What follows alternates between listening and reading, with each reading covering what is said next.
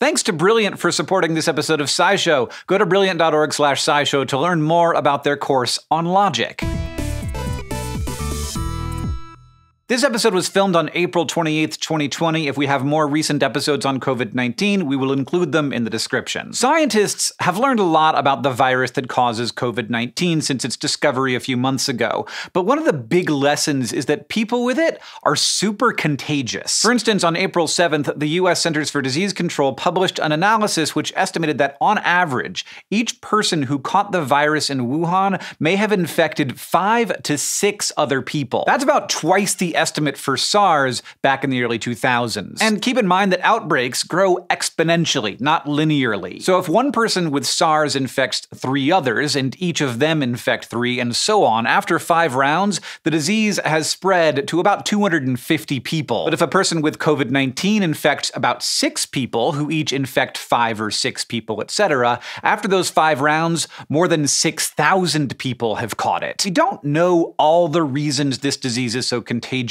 Researchers around the globe are still piecing together clues. But by comparing this new virus to the related virus that causes SARS, they've found some promising leads, and those leads might help us figure out how to actually beat this thing. How contagious a disease is depends on a lot of things, and many of them overlap or interact. Like, we know that one big thing that makes the new coronavirus stand out is that people can pass along the infection before they start showing symptoms. This is what you might have seen referred to as pre symptomatic transmission. And with this virus, there also appears to be at least some asymptomatic transmission people passing it along who never become sick themselves. For many diseases, including SARS, those kinds of transmission just don't happen. The tricky part is explaining why? The short answer is that those older diseases need relatively large droplets of fluid from the airways to successfully leap into someone else, the kind only expelled by coughs or sneezes. Meanwhile, this new virus may be making the jump on smaller droplets,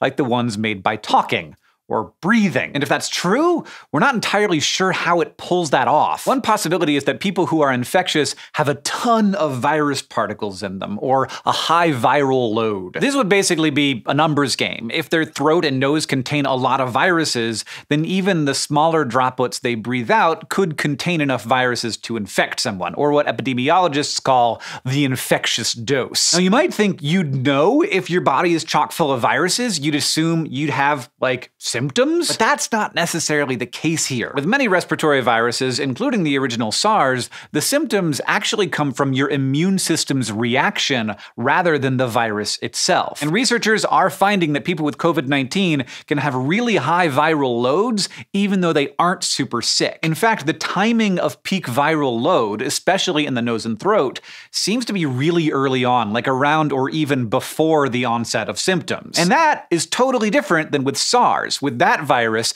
peak viral load occurred about 10 days after people first showed symptoms. That suggests the COVID 19 virus can infect cells and replicate more quickly, or in virology terms, it is a fitter virus. So essentially, this virus is more efficient at virusing than the original SARS, which might seem strange since the two viruses are so alike. I mean, they even get into cells the exact same way. Both hitch a ride on a protein on our cell membranes called angiotensin converting enzyme 2, or ACE2. Normally, these enzymes play a big role in maintaining blood pressure, so they're found on a lot of cells, especially ones in your respiratory system. And both viruses use a specific protein to grab onto ACE2. It's called the spike protein because it looks like a spike sticking out of the surface of the virus. But what differs between the SARS virus, SARS-CoV-1, and this virus is how well they stick to ACE2. Researchers estimate that this newer coronavirus binds 10 times more tightly to human ACE2s. And that's probably because it has a number of changes to the part of the spike that actually binds with the enzyme. In fact, about half of the amino acids in this particular region differ between the two viruses. This matters because the better a virus is at binding to its receptor, the fewer viruses you need to infect a cell. And ultimately, that might mean the infectious dose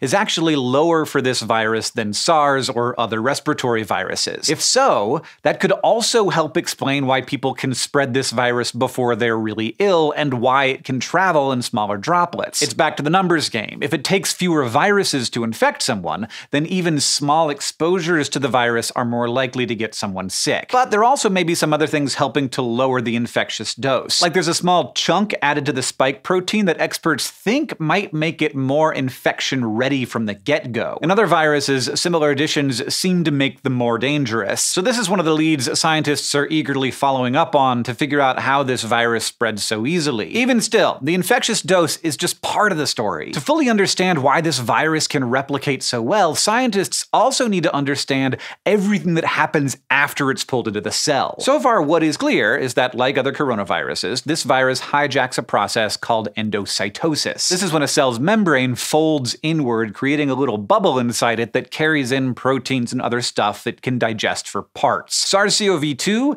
can hitch a ride in these bubbles and use them as a one way ticket into the cell's protein factories. Then, instead of being digested, it breaks out, putting its genome right where it will be translated and copied to make new viruses. It's possible the new coronavirus can do all this more efficiently than other viruses. At least it seems to in some cultured cells. That could explain how it's able to copy itself so quickly. But again, this is more of a lead than a conclusion at this point. Finally, if all that's not enough, the new virus might replicate faster and spread from people who aren't sick because it's also better at evading the immune system. For example, its spike protein has extra binding sites for sugars, which could help hide important parts that the immune system would normally recognize. But also, the virus's genome contains the blueprints for about two dozen proteins that aren't directly involved in building new viruses. Many of these probably help it dodge the cell's virus detectors, but we don't know a whole lot about them yet. What we do know is that there are nearly 400 specific differences between the proteins of SARS CoV 1 and SARS CoV 2,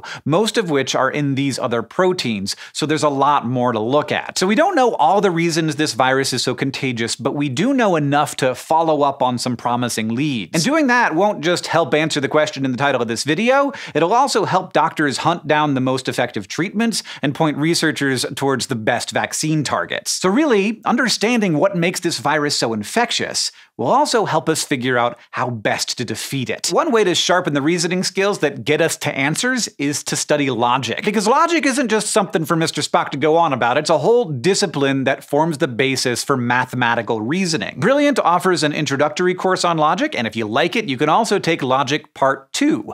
Brilliant's courses in math, computer science, engineering, and more all aim to help you hone your scientific thinking skills. So if you're interested in sharpening your mind, the first 200 people to sign up at brilliant.org slash scishow will get 20% off the annual premium subscription.